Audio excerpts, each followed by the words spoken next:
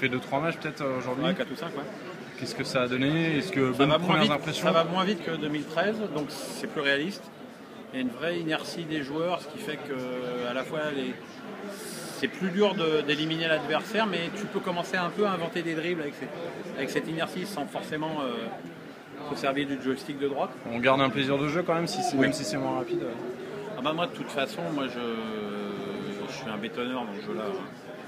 Je suis bon Le défensivement. 1-0 des familles. euh, Je suis un bon défensivement et maladroit devant le but, donc je défends. D'accord. Est-ce que vous l'attendez avec impatience quand même Le nouvel opus ouais, ouais.